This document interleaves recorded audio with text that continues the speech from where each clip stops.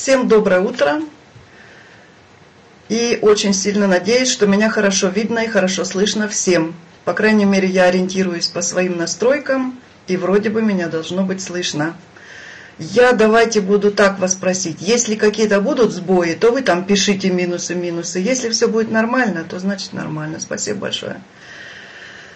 Э, итак, я должна была бы, конечно, отключить все вот эти настройки, не видеть там, кто присутствует, кто пришел, кто не пришел, потому что это немножко, ну, на самом деле, вроде ответственность не такая большая, потому что проводишь такие мероприятия каждую неделю, а может и несколько раз в неделю, но все равно чувствуешь, что это заявка на, на что-то большое, потому что название этого нашего мероприятия, которое мы проводим сейчас по утрам, называется «Марафон успеха». Вначале, я скажу честно, не хотела в нем участвовать, потому что я считала, что у нас очень много э, партнеров, которые не так давно пришли, им хочется заявить о себе, они хотят э, сказать свое слово, чтобы их услышали, увидели. Но потом подумала, что, наверное, это будет не совсем правильно, потому что я сейчас постараюсь, ну, просто успокоиться и вам немножечко поделиться теми мыслями, которые у меня вообще-то есть на эту тему. Может быть, это не совсем получится марафон успеха, ну, как получится, так и получится. Смотрите, ну, вы уже все знаете меня, потому что, глядя там, все-таки заглянула в список, кто присутствует, и вижу, что здесь в основном структура э, Германии присутствует. И эти люди, они меня почти все знают, потому что там приходилось встречаться на, на семинарах и так далее. Но, тем не менее, скажу, что я не просто Любовь Вильман, не просто корпоративный директор компании APL. Нахожусь здесь два с половиной года. Время пробегает так быстро, даже прямо не можно, невозможно поверить. Но это так. Совсем недавно я, кажется, пришла в эту компанию, и совсем недавно переживали все эти моменты, когда еще было не совсем все обустроено, когда хотелось, чтобы компания стала на ноги, а мы очень уцепились за этот продукт. Мы все это уже пережили, все вроде бы как бы уже устоялось, чему очень сильно рады. И оглядываешься, это уже два с половиной года. Когда я первый раз открыла свой бэк-офис, эм, там есть такая функция, вы все знаете, да, бинар текстовый вид, и я увидела только одну строчку. Я одна стою, мне это было так, ой, опять. И когда это у меня там появится, наверное, конечно, появится у меня команда, но все равно я такой человек, не, э, не летающий в облаках, все время воспринимаю все реально. И мне казалось, ох, ох, ох, когда же это появится у меня там действительно уже больше людей. Почему я э, вообще через эти мысли прошла? Потому что я в компании APL не новичок. Перед тем, как сюда попасть, я уже прошла много компаний. И, наверное, кому-то окажется, ой, я прошла много компаний, это что-то, наверное, со мной не так. Надо же, как нас учили еще в свое время в Советском Союзе, если ты куда-то пришел, так ты до самой смерти здесь должен оставаться. Но на самом деле все не так выглядит. Компании в нашей жизни появляются для, каких, для решения каких-то вопросов, для осуществления каких-то целей. И так же самое было с моей компанией APL. Сюда мы попали ну, я думаю, что может быть по случайности. А если сейчас я проанализирую вот это вот Э, как бы сказать, событие, то, наверное, это не случайность, потому что на тот момент я очень сильно хотела, чтобы в моей жизни все-таки еще появилась какая-то компания, которая бы воплотила все те чаяния и надежды, которые я имела, когда была в других компаниях, но не смогла их там осуществить. Это были разные моменты. В каких-то компаниях не работал маркетинг. Он, в общем-то, был теоретически составлен, но заработать денег там не представлялось возможным, разве что только на бумажке и на каких-то там расчетах. Эм, в каких-то компаниях не было хорошего лидерского корпуса. Ты пришел, и ты должен был как торпеда что-то делать сам. Ну, сколько ты можешь, ты делаешь, и в конце концов, не имея поддержки, ты все равно ну, не, не удается тебе достичь своих целей. Ну, были самые разные причины. Поэтому я как-то в надежде еще была, хотя, оглядывая рынок, я понимала, ничего достойного нет. Ничего достойного нет, все одно и то же, это мы уже все проходили, это уже все было. Ну, вот так случилось, что мои, мои люди-то все знают наши, из нашей структуры, я уже раз там. На тот момент, в апреле месяце 16 года у моего мужа разгорелась на полную его аллергия, с которой он уже давным-давно э, мучился, и мы нашли только один выход э, – делать ему укол. И этого укола хватало на год. И когда выяснилось, что один укол уже не хватает, что теперь надо уже делать два укола, стало страшно. И после посещения врача выяснилось, что у него еще и сахар образовался высокий, поднялся, чего он абсолютно не ожидал. И все это привело его в тихий шок. И надо же так случиться. Вы же понимаете, что ничего не бывает случайного. И на тот момент, наверное, так должно было случиться. Позвонила Оксана Шнайдер и сообщила мне об этих конфетках. Она сказала о том, что есть вот такие конфетки, там они для похудения. Я подумала, почему для похудения? Зачем? Я вроде бы не ищу ничего для похудения. Но пока она мне рассказывала, я быстренько нырнула в интернет и посмотрела, что там есть продукты и не только для этого. Есть и от аллергии, есть и от сахара. И вот это было наше начало. я взяла просто продукт. Бизнес я вам сказала, что я где-то в тайне мечтала, что что-то появится такое, но в данный момент я не думала, что это как раз тот самый звоночек. Я просто находилась в другом бизнесе, так, в состоянии такого тихого застоя. И думала, что мне этого достаточно. И вот когда компания APL предстала передо мной сначала в интернете, сначала я трое суток, наверное, ну не суток, а три дня до глубокой ночи просиживала в интернете, прочитывала все, что там можно было найти, задавала себе вопросы, искала на них ответы. Я смотрела видео, которые вызывали у меня, естественно, доверие и кое-какие материалы даже начала конспектировать, и я уже в этот момент я поняла, что я в этой компании, наверное, буду работать. Несмотря на то, что я сделала покупку, покупка должна была мне еще каким-то образом прийти из России, потому что вы знаете, что в то время у нас не было продукта. Еще абсолютно не пробуя ни одной конфетки, не держа в руках ни, ни, ни этой коробочки, ничего такого, я уже начала работать я уже начала приглашать моих первых партнеров. И к тому моменту, когда мне э, привезли мою первую посылочку, первый мой пакет, к этому времени у меня уже была маленькая, но структура. Эта структура уже начала расти, расти, расти. И для чего, э, вернее, для этого достаточно было той информации, которой заполнен сегодня интернет, в том числе YouTube я поставила перед собой такой вопрос. Если этот продукт действительно работает, как о нем говорят и пишут везде, но в частности, как сама компания пишет, значит, должно быть в интернете, в ютубе, по крайней мере, очень много информации, потому что вы прекрасно понимаете, сегодня каждый человек сам себе артист, сам себя снимает и, и выкладывает, естественно, сразу э, мировую паутину, все свои эти записи, я думаю, значит, должно быть, я не ошиблась, я увидела, что просто полным-полно всяких видеороликов, где люди рассказывают о своих результатах. И когда я несколько из них хотя бы посмотрела, мне стало понятно, что столько людей одновременно придумывать и врать, по крайней мере, не будут, наверное, все-таки этот продукт действительно работает. Все, вопрос о том, будет продукт работать или нет, уже теперь не стоял, и я включилась плавно в работу. Я вам уже сказала, что я прошла много компаний, и я прекрасно понимала, что когда ты переходишь из одной компании в другую, ты обращаешься в первую очередь к тем же людям, к которым ты уже обращался раньше. И то же самое предстояло мне в этот раз. И э, когда такие, такой выбор предстоит, и когда такое решение принимаешь, ты понимаешь, что сейчас пойдет с обратной стороны сопротивление. А, ты уже опять что-то новое, сейчас ты опять что-то будешь нам предлагать, ты же уже там была, ты уже же там была. Вот недавно мы слушали женщину, которая рассказывала о том, что э, где-то пребывала она в других каких-то проектах, и это ей показалось как затруднительным, что нужно идти дальше по своему рынку. Я же совсем другого мнения придерживаюсь. И так как я по каким-то, вот, ну только небу, наверное, известным причинам, моментально раскрылась навстречу этому бизнесу, навстречу этой компании, для меня уже не стоял вопрос, что я там как-то стесняюсь, что мне как-то неудобно сказать, что я там буду думать, что обо мне скажут.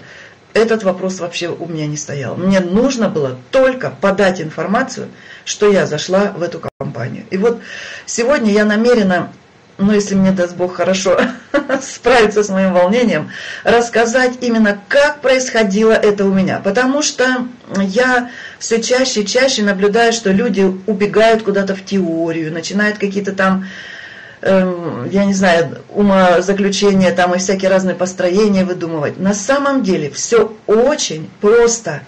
И когда я принимала решение, и, ну, такое внутреннее решение, что я буду с этой компанией, я понимала, что я настолько созрела, что я настолько готова, что я уже столько знаю, я столько могу, что я просто буду готова помогать другим людям, которые еще пока этого не понимают. Ведь многие приходят, кто-то в первый раз приходит, кто-то там где-то наломал дров э, во второй и третий раз приходит. Но многие люди не знают, не умеют того, чего знаю и умею я. Почему я должна этого стесняться? Я обязана просто пойти и помочь людям. Я просто никаких не имела даже никакой тени сомнения в этом. Э, почему я об этом сейчас говорю? Потому что в других компаниях, когда я приходила, я себя так ощущала. Но я же новенькая еще, я же здесь еще ничего не знаю. А они-то уже все знают, они там что-то такое рассказывают, они там этот маркетинг рассказывают. Во многих компаниях я этот маркетинг изучала. Сверху донизу, вдоль и поперек. Мне казалось, что я его вроде как бы знаю, понимаю. Но на сегодняшний день, оглядываясь назад, я понимаю, что я там ничего толком не понимала. То, что я здесь сейчас могу и понимаю, и чем я могу помочь людям. Итак, э, как происходил мой постепенный, плавный, наверное, а может быть довольно-таки быстрый вход в эту компанию, я хотела бы с вами тоже поделиться. Может быть, даже начну с того, что и это, это уже теперь опыт накопленный. Где-то этот опыт мешает двигаться, потому что он, как вот здесь вот в этом видеоролике говорится, как те тараканы, которые подсказывают тебе, не иди туда, там можешь упасть, не иди туда, там с чем-то столкнешься. А где-то наоборот этот опыт тебе говорит, давай, действуй, ты же это все знаешь, ты же это все можешь.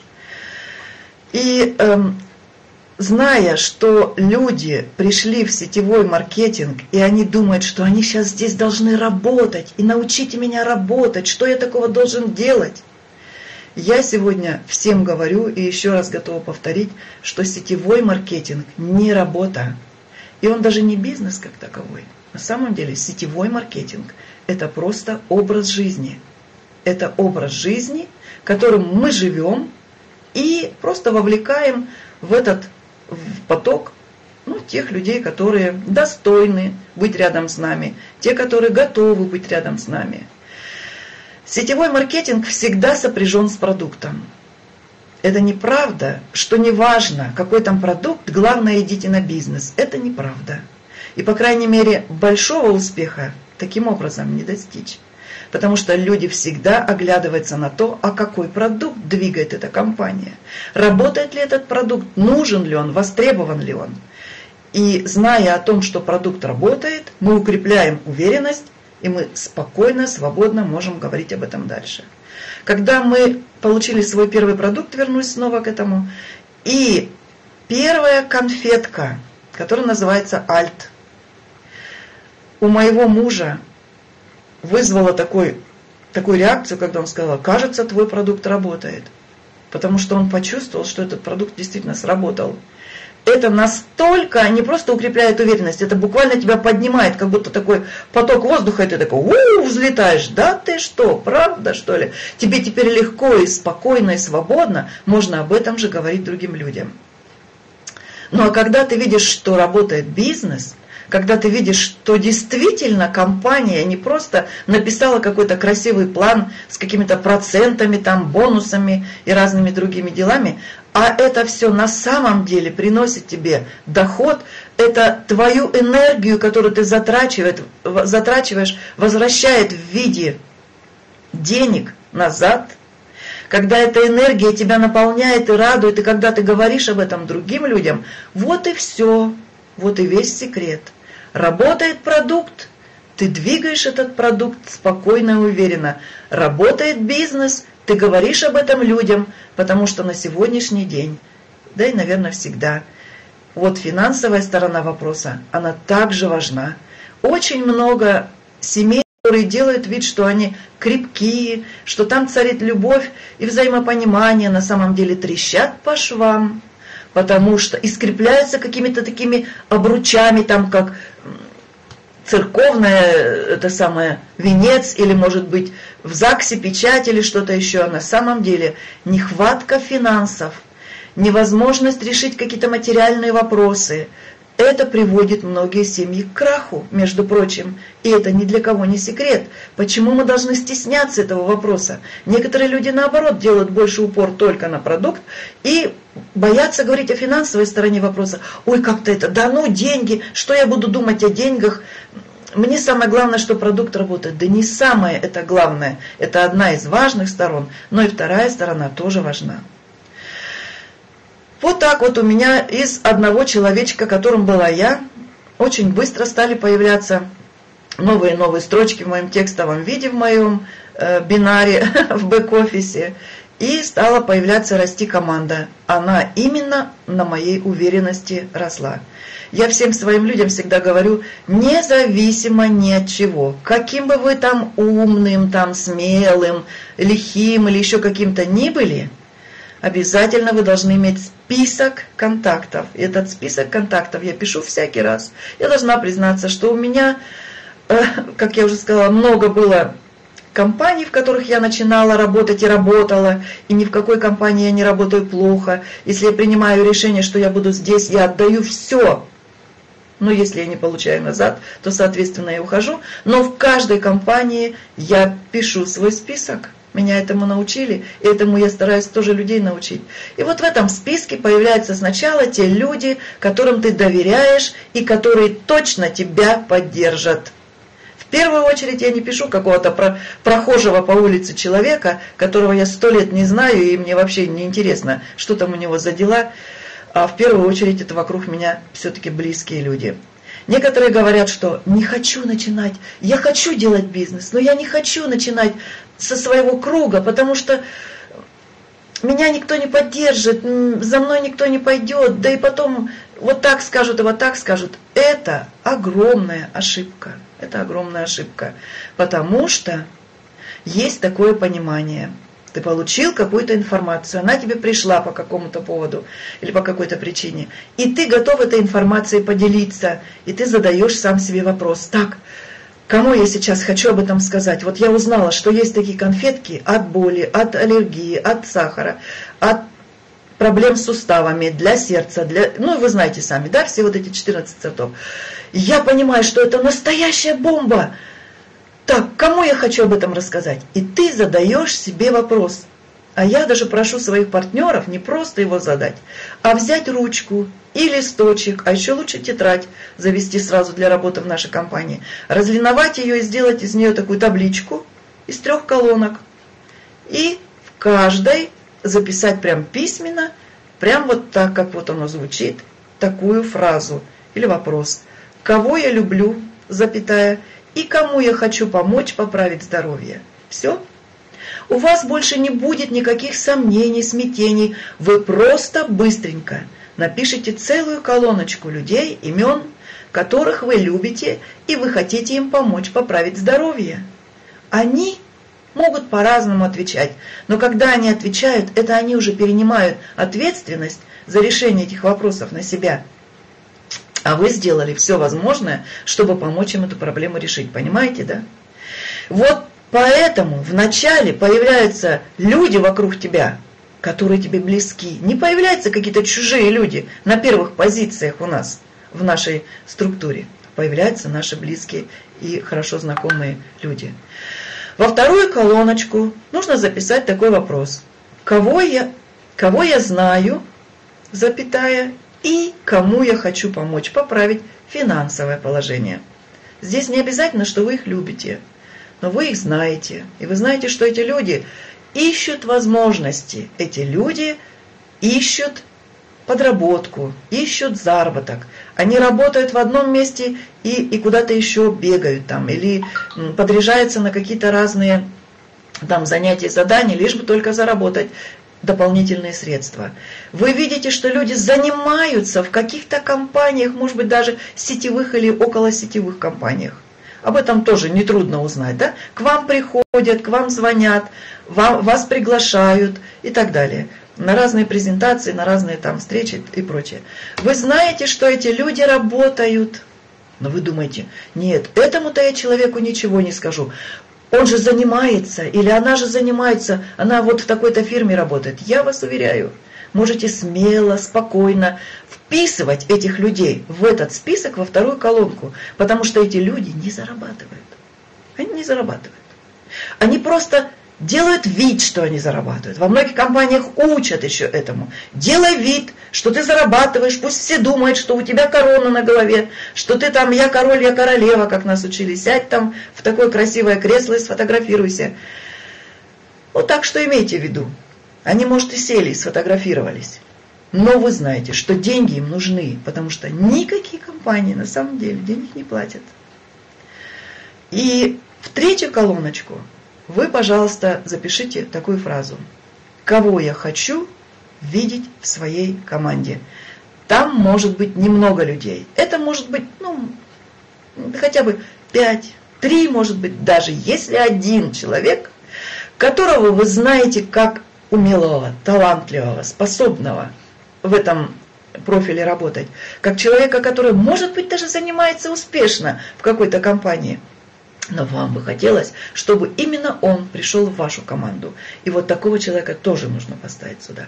Потому что существует еще целая система работы, которая поможет вам пригласить в, в команду и этого человека. Я вас уверяю, что если у вас такая цель стоит, то это получится. И вот из этой таблицы, в которой в начале может быть имен 20, может 25, у вас вырастет огромная команда. Конечно, все компании призывают, э, ну, когда они там обучают своих людей, партнеров, они призывают писать списки большие, и 100 там, и 300 и так далее. Исходит это из того, что мы знаем много людей, и нормальный, здравомыслящий человек со здоровой психикой, у него очень много контактов. Но когда он начинает выборку и составляет этот список, он начинает в голове сортировать. Он уже за этих людей принимает решение. И не думайте, что я не отношусь к этим вот людям, которые так делают. И я тоже, когда думаю о человеке, и у меня уже сразу лезет мысль в голову, этот не пойдет, он мне вот так скажет, он вот это вот делает, он сейчас не захочет. Вот когда мы составляем список, это мы еще не звоним, пока мы только список составляем. Что вам мешает? Что, бумага не терпит, что ли, или ручка плохо пишет? Пишите всех, про кого вы вспомнили, про кого вы подумали, о ком вы сейчас думаете, что надо здоровье ему поправить, этому вы можете помочь поправить финансовое положение, а этого человека вы просто хотите иметь в своей команде. И записывая их, вы практически готовите плацдарм для ваших дальнейших, так сказать, атак. Вы теперь хотите свой список в этот в текстовом виде все время увеличивать, вашу команду растить. И из этого списка те люди появятся. Зная о том, что, э, как я уже вам сказала, что я побывала в других компаниях, и зная о том, что как люди скептически относятся к этому, у меня вдруг первый раз за все время, более 20 лет, что я занимаюсь в, этом, в этой сфере, первый раз ко мне пришло твердое решение и уверенность, что в этом нет ничего такого. Если я работаю, я никогда не работаю с плохими продуктами. Если я начинаю в какой-то компании работать, я точно знаю, что такого продукта они больше, кроме как из моих рук, нигде не получат.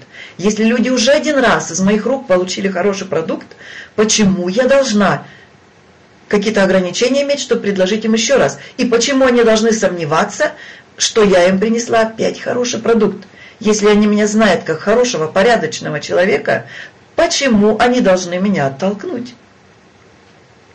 Ну все, вот, вот такие какие-то произошли, наверное, там реакции в моем мозгу, что позволило мне сделать первые шаги. Я уже сказала, что э, первые люди, первые партнеры у меня появились еще до того, как я получила свои продукты. Как я это делала? Ну, во-первых, я, конечно, позвонила своему ближнему кругу, знакомым людям, зная, что они меня всегда поддерживают, наверное, поддержат и на этот раз. Почему бы нет?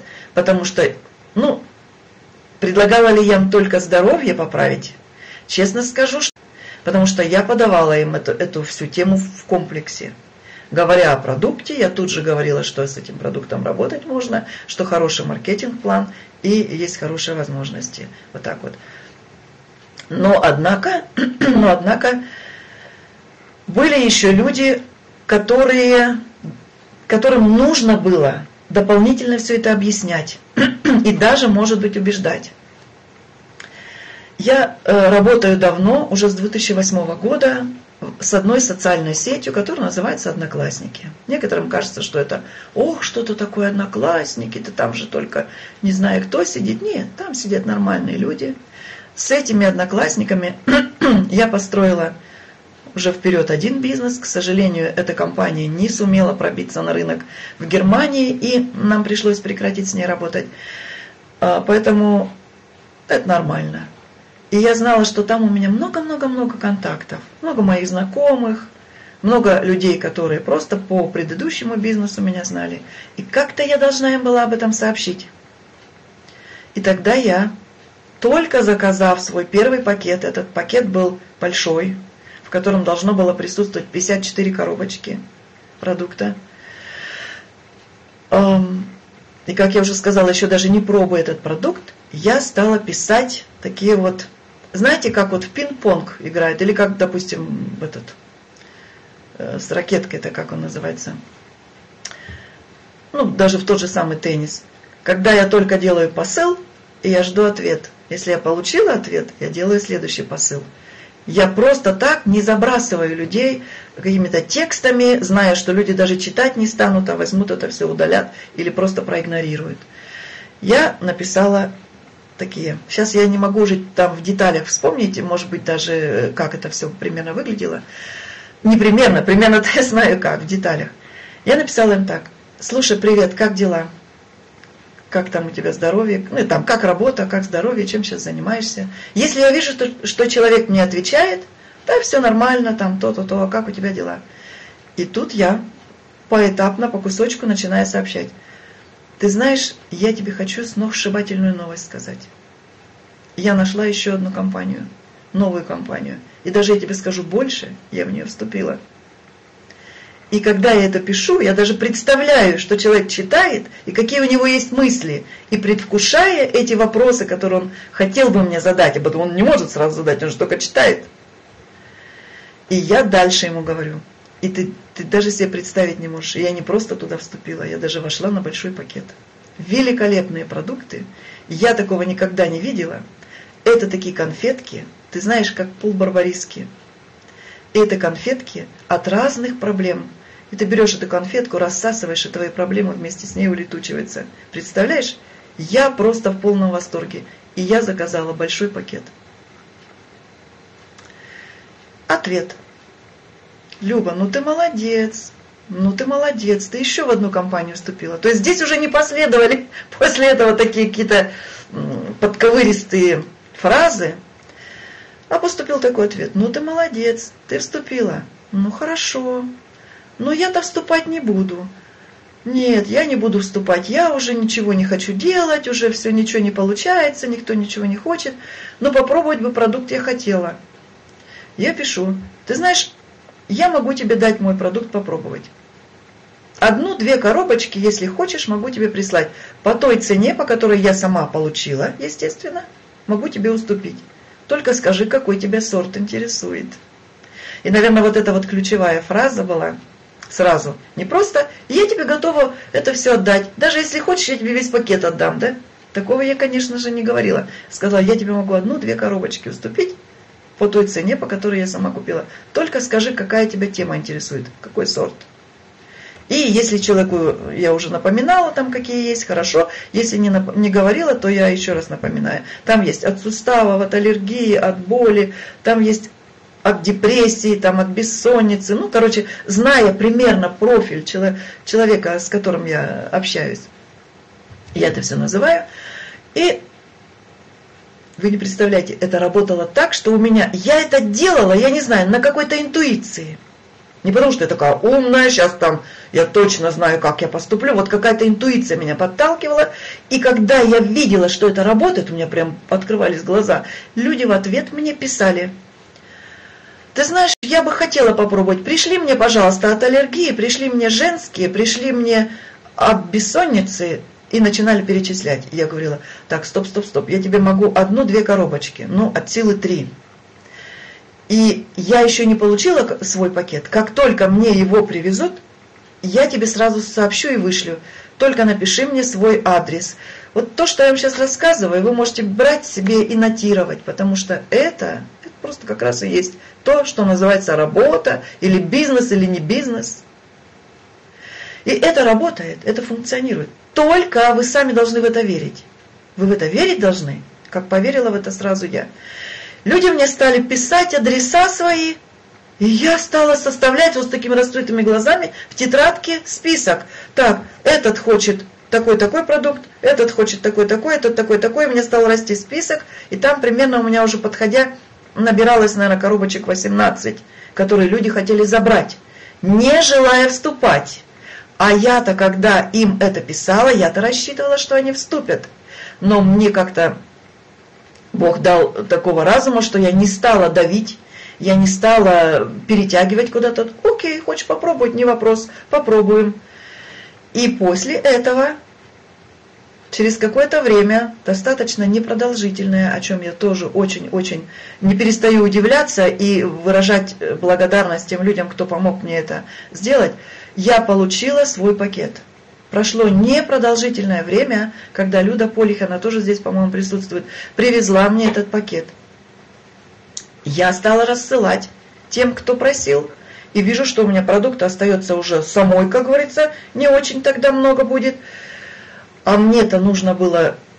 Когда же я теперь получу следующий, коль мы его должны были из России получать? Это я опять кого-то должна просить, чтобы мне привезли продукт? Я сказала, так, стоп, так дальше я не делаю. Дальше я стала по-другому поступать. Пришла ко мне женщина с денежками.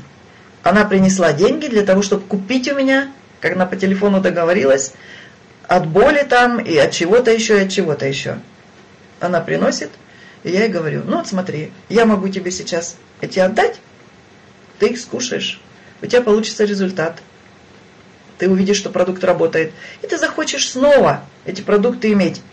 И тогда ты наконец-то вступишь, потому что те демо-продукты берем, мы просто подписываемся в компании и там заказываем. И когда ты вступишь, ты первый пакет свой купишь опять по розничной цене. Значит, ты два раза это заплатишь. А я тебе предлагаю сейчас, вот смотри, давай мы тебя сейчас зарегистрируем, и ты на эти деньги просто возьмешь хотя бы маленький пакет себе. И затем ты уже будешь покупать, ты уже будешь партнер, и будешь по партнерским ценам покупать продукт. Да? Это было, конечно, трудное решение для человека. Куда-то ее опять зовут, куда-то вступает она.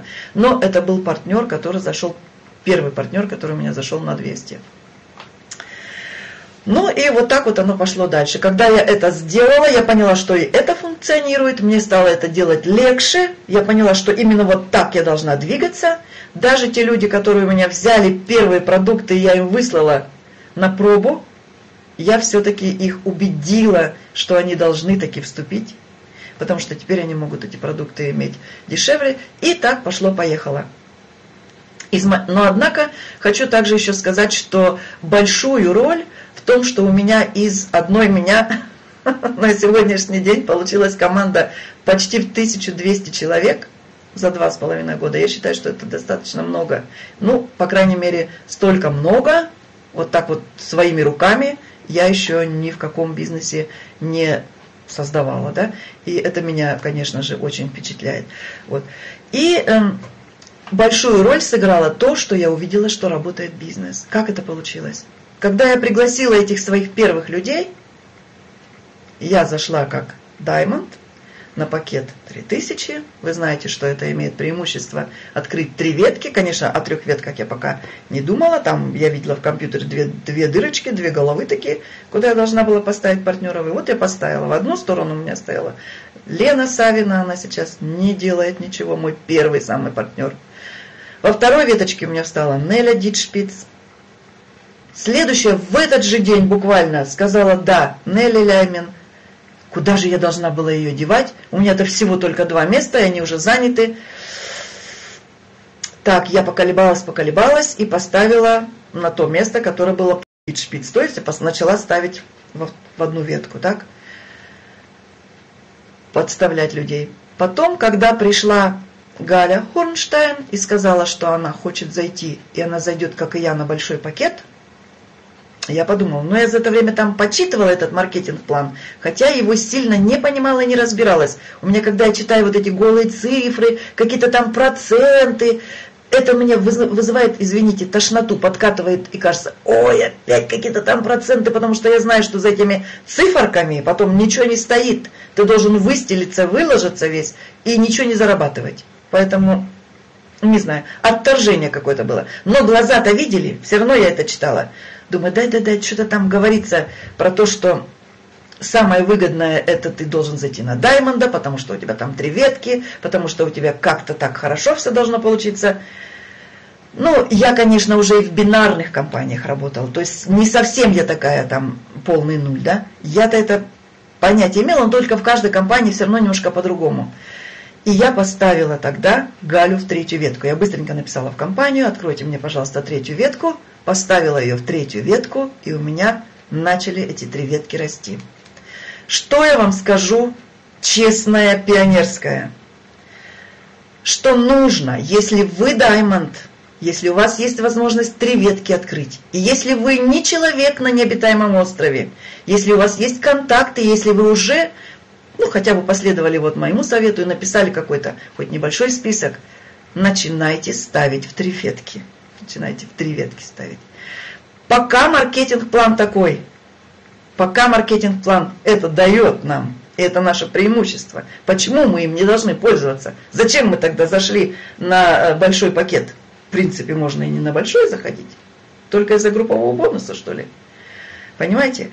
И что тут тогда ты делаешь? Ты просто людей, которые к тебе приходят, ты их бросаешь туда, туда, туда, туда, туда, туда, туда, туда, туда, пока вдруг неожиданно не обнаружится. Мы же никогда не знаем, кто пришел. Некоторые люди приходят, они, кажется, семь пядей во лбу. И они там везде бывали, они все уже умеют, они какие-нибудь лидеры, или они где-нибудь еще работают или работали. И мы на них такую надежду возлагаем, а они ничего не делают. Они просто, так сказать, завяли, выпали в осадок и отсортировались. Мы никогда не знаем, что произойдет из наших партнеров, которых мы вообще привели, они еще никакого опыта не имеют. И вдруг они почувствовали, что здесь такое. И они вкусили вот эту вот, вот эту вот радость, что продукт работает, что все функционирует. И они пошли, пошли, пошли. И у вас какая-то ветка вырывается вперед. Все, эта ветка вырывается вперед, вы работаете с этими двумя точно так же, и вы начинаете зарабатывать. По крайней мере, меня никто не может переубедить, что я не права, потому что это позволило мне в первые же две недели, ну, о чем я тоже не, не сильно там э, знала и разбиралась, потом увидела, что это каждую неделю у нас тут приходит зарплата наша, да, наши бонусы. В первые две недели я вернула деньги, вложенные за свой пакет. Ну вот представьте себе, да, что я построила, там несколько человек поставила, потом, естественно, этим людям стало помогать, чтобы и они начали людей ставить. То же самое начали делать они, кто-то успешнее, кто-то медленнее, многие очень успешно начали двигаться, так же, как одна Неля, так же, как вторая Неля, начала Галя приводить своих людей. И вот так вот пошло, пошло, пошло. В первую неделю, во вторую неделю две тысячи мои, которые я вложила в пакет, были у меня на балансе. И когда я увидела, что я-то, ребята, я-то уже не просто вернула деньги, я ничего не потеряла, мне уже не страшно в этом бизнесе. Я еще и заработала, потому что, вы помните, у меня там был целый список, которых захотели эти продукты у меня взять, просто за эту же цену как бы вернули мне деньги, которые я в пакет вложила, уменьшили количество продуктов. Зачем мне 54 дорогих продукта, когда я с первой же минуты могу покупать дешевые продукты? Ведь так же, да? Поэтому я всегда говорю людям, первый свой пакет за ту же цену. Ты можешь, конечно, уступить там понемножку другим людям, кто упорно не хочет вступать. И вот эти вот 800, примерно 700-800 евро у меня уже были сверху заработок. И я поняла, что, проду... что этот бизнес работает. Я могу об этом говорить дальше. Я стала говорить это, об этом дальше. И я уже теперь была не просто там где-то что-то начиталась. Я уверена была, это функционирует. Я такой компании, ребята, не видела никогда. Я не хочу там какие-то дифирамбы петь, там всякие разные... Понимаете сами, да? Я говорю вам реальные вещи. Первый раз в моей жизни компания, в которую я пришла, не забрала у меня деньги. Я внесла эти две тысячи, и я их назад через две недели получила. Я еще начала зарабатывать, и каждый следующий свой, не пакет, а каждую следующую покупку, которую я делала в компании, делаю до сих пор, я уже делаю с баланса. Я ни разу больше не полезла в карман или в кошелек для того, чтобы вложить в компанию. Я побывала уже на круизе в семнадцатом году. Не поехала я в шестнадцатом году. Конечно, можно было немножко напрячься и поехать, но у меня была такая внутри установка. Я не хочу вкладывать деньги из семейного бюджета. Если я заработаю здесь поездку, я поеду. А специально, мне там не хватало парочку диамантов, сами понимаете, да? Ну, что такое парочка диамантов? Сегодня для нас уже таких ушлых. Раз-раз, и ты уже все, и ты поехал. Я этого не хотела. Но в семнадцатом году я была в круизе, я была на мероприятии, которое называется Golden People, или как там по-английски, на дне рождения президента в Праге. А, это удалось мне сделать настолько быстро и настолько легко. Это мы сделали даже вдвоем вместе с моим партнером Нелли Дитшпиц, потому что мы быстро поставили перед собой цель, и мы увидели, как это можно сделать, и только цак-цак. И мы среди самых первых, кто выполнили условия на эту поездку в Прагу. А, кроме этого, конечно же, я посещала там многие другие события. Я была, безусловно, на пятилетии компании, про это чуть не забыла сказать. И эти все мероприятия, они только укрепляли мою уверенность и только помогали мне э, продвигаться. Вот здесь вот вы видите на этой фотографии, мы находимся в Москве на первом событии, которое называется Agile Seasons. Тогда мы сильно не понимали значения этого, нам нужно было только его посетить, это мероприятие. Эм, как только я вошла на большой пакет, буквально через короткое время я прочитала в чате сообщение о том, что если вы уже даймонд, вы имеете право поехать на это событие, потому что там только вот с диамантов начиная приглашают. Я подошла своему мужу и сказала, первый раз, я не спросила его, Витя, ты можешь там, может быть, давай мы поедем, вот, ну, компания новая, может быть, давай мы посмотрим. Я вот какая-то такая внутренняя уверенность, я подошла и сказала, ты знаешь, там будет мероприятие в Москве, и мы туда поедем. Пожалуйста, спроси на работе, чтобы тебе дали отпуск, и мы туда едем. Тем более, что нам нужно было для теперь растущей, как снежный ком, э, нашей структуры продукты, а продуктов не было, нам нужно было опять-таки как-то доставить их из Москвы. И вот так вот мы попали туда. Правда, здесь на этом на этой фотографии вы можете немножко удивиться, мы отнюдь не в праздничном таком обличии находимся, потому что мы прилетели, а наши чемоданы нет. И когда мы пришли на, на это событие, я уже забыла, как там называется, э, это здание, где там все собрались, мы увидели такие праздничные, разнаряженные женщины в туфельках, в платьюшках, там все, а мы в дорожном, как в самолете летели, так и пришли. Ну, я думаю, что ничего страшного. Тем не менее, мы посетили это событие, и на этом событии я практически превратилась в глаза и уши. Я э, уже один раз говорила, что я ну, не была там такая эйфорически заряженная тетка, которая прыгает и скачет, йо-йо-йо. Нет, я просто смотрела, я сканировала, что там происходит. Я наблюдала за теми людьми, которые там фигури фигурировали на первом плане. Я в конце концов хотела увидеть этого президента, которого Вначале-то я прочитала, когда вот входила в компанию, что это молодой российский предприниматель, молодой российский миллионер, который выкупил там э, этот патент и на, на основе этого патента создал свой продукт, свою компанию. Хотела посмотреть, что же это за такой... Я уже как-то где-то внутренне все это восприняла, но надо было посмотреть, кто же это такой. И когда я его увидела, мне было интересно, буквально я его буквально вот считывала, вот просто считывала глазами все это, все это движение. Наших лидеров первый раз я увидела, смотрела, как они держатся, что они делают, какие... Ну, короче говоря, все вот это, потому что я уже пионерский возраст давно прошла. И большой опыт, он о многом говорит. Извините, свет выключу. И это позволяло мне только наблюдать, чтобы, не дай бог, я этот раз никуда в просак не попала. Но я была уже почти уверена, что все нормально. Там я много интересного увидела, и оттуда я уже приехала, вернулась назад, полностью фанаткой компании APL. И я только могла единственное делать, что продвигать так, как будто я здесь уже, ну не первый год, не только начала, а как будто я здесь уже много-много времени нахожусь. Вот здесь вот мы даже фотографировались с э, нашей Ниной Шашуковой, потом мы там еще фотографировались еще с другими лидерами, кого мы могли там выловить, кто там нас акцептировал. Э, правда, до сих пор они нас еще не знают, и, и очень часто, когда на меня смотрят, если я подхожу и хочу поздороваться, они так смотрят на меня, как будто человек, который тебя не видит, и говорит, ой, здравствуйте, а вы кто такой, я что-то вас не знаю. Я говорю, ну хорошо, еще узнаете. Так что все впереди. Вот здесь вот мы со своей командой, ну не со всей, конечно, у нас было намного больше, где-то 20 человек э, я вывезла на пятилетие компании в первый же год, вот в шестнадцатом году. И здесь вот некоторые из них находятся, белые ангелы, как я их называю.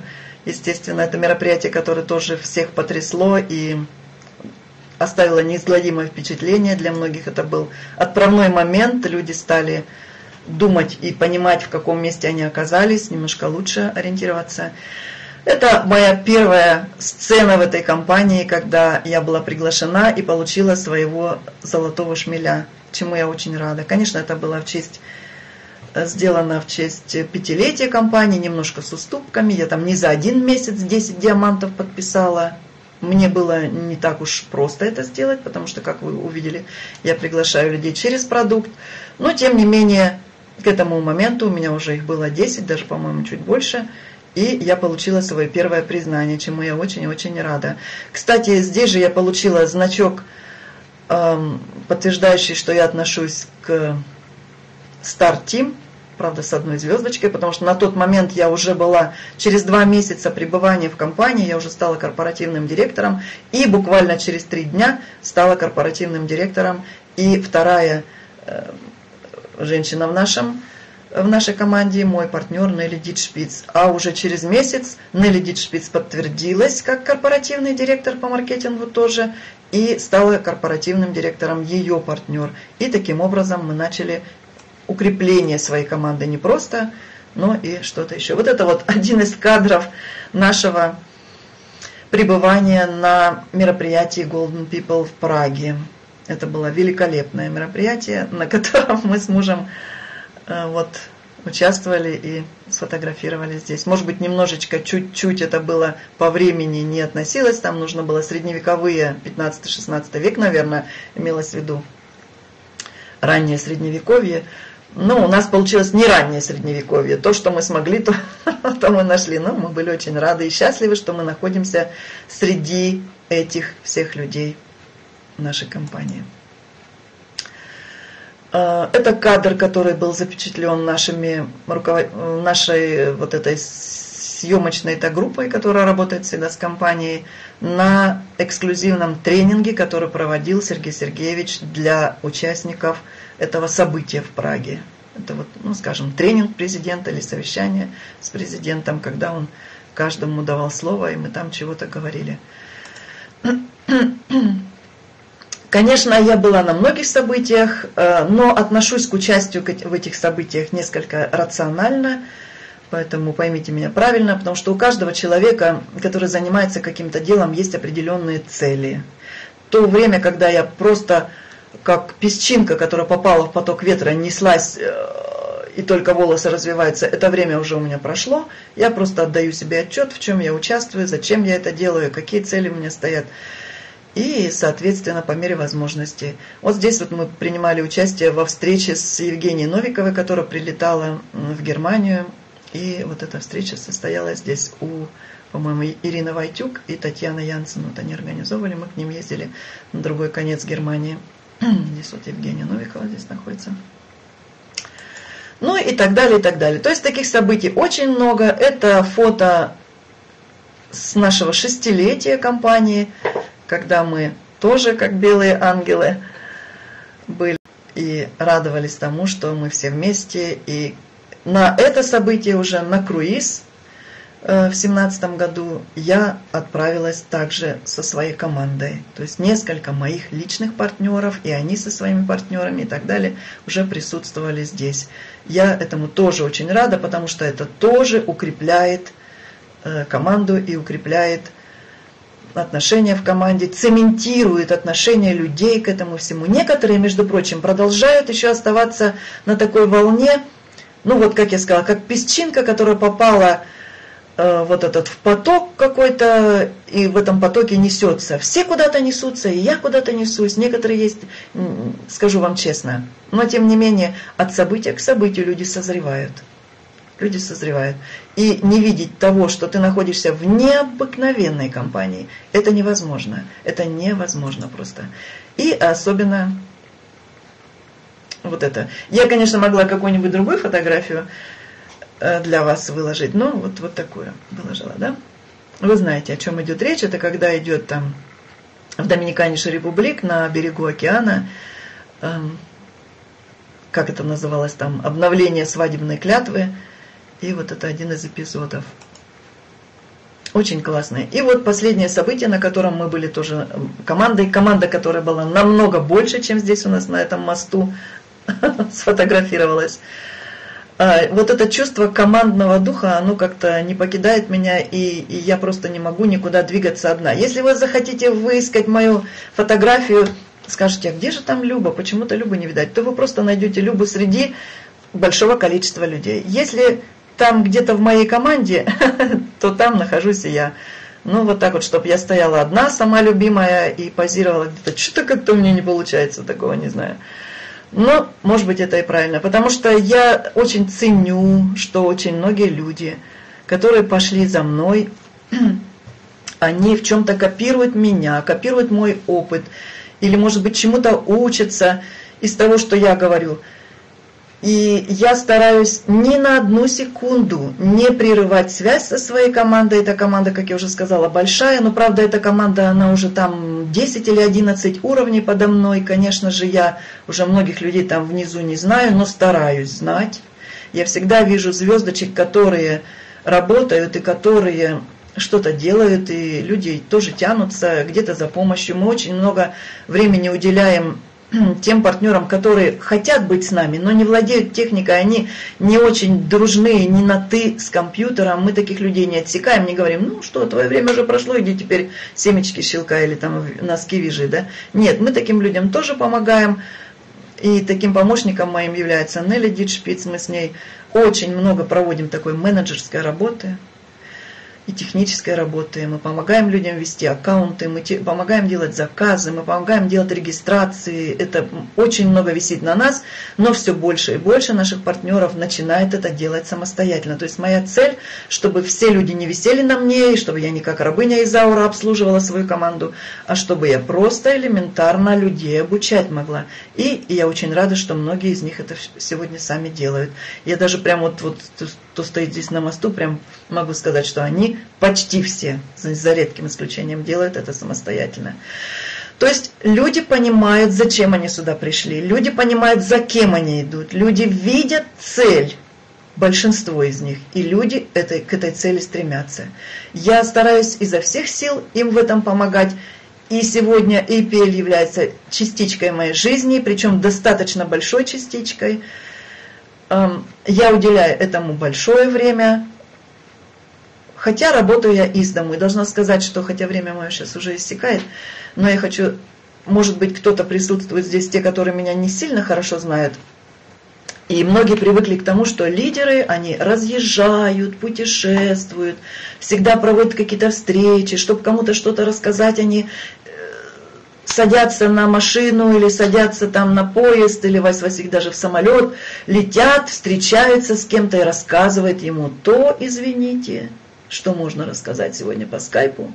Сегодня мы открываем, телеви... смотрим телевизионную передачу, идет, например, там новостная передача, кто-то э, какое-то слово свое говорит, и откуда он говорит, мы видим, что он говорит со скайпа в новостную передачу врезан экран, и видно, что человек со скайпа говорит какое-то свое слово. Почему мы должны сегодня тратить энергетический ресурс, время собственное, убивать свои силы и куда-то ехать, чтобы кому-то рассказать, кто он такой? Он еще нуль. Он пока только кандидат, быть или не быть в моей команде. Почему я должна столько ему времени уделить? У него есть скайп? Нету? Пускай его загрузит. Пускай садится, сядем вот так вот, откроем экран. Я ему и покажу, и расскажу, и объясню. Будет необходимость встретиться, если он хочет презентацию у, тебя, у себя какую-то собрать, там народ собрать. Другое дело, можно еще и выехать. Поэтому я работаю в основном из дому. Я выезжаю, конечно, по просьбе своих партнеров, если они собирают тут презентации и поддерживаю. Но в основном работаю из дому. Потому что если ты живешь в 21 извините, веке, то такие уже средства массовой коммуникации, как, например, тот же Skype, телефон с WhatsApp, уже на сегодняшний день не, не писк какой-то моды, не такая уж новинка, это уже даже прям уже давнишнее средство, его надо иметь всем. Тем более вести современный бизнес обязательно надо. И таким образом я ну, наверное, из-за этого у меня увеличивается количество времени, которое я могу посвятить своему делу. И этому же я тоже учу своих людей. Я очень-очень рада, что сегодня, несмотря на ранний час, многие люди из нашей германской структуры подключились сюда. Я, конечно, точно знаю, что я не рассказала всего, чего я хотела, потому что я настолько почему-то была взволнована, хотя я это все сто раз уже рассказывала и, и на более таком полном варианте. Так что если кто-то еще эм, хотел бы общаться или какие-то вопросы имеет, или хотел бы что-то там уточнить, мы встречаемся довольно часто на семинарах. Эм, почти на всех семинарах я обычно какую-то тему имею, какую-то тему рассказываю. Если не рассказываю, значит можете подойти ко мне на паузе, и мы можем с вами поговорить. Но и безусловно мы можем просто вот таким образом с вами общаться. Со многими мы встретимся на круизе, я уверена, даст Бог, что все будет благополучно. И мы окажемся снова на борту лайнера, и там у нас будет возможность точно так же общаться и, соответственно, обмениваться опытом. Еще раз всех благодарю за то, что вы выбрали время и побывали здесь. Всем огромное спасибо и очень надеюсь, что хоть чуть-чуть, но кому-то помогла.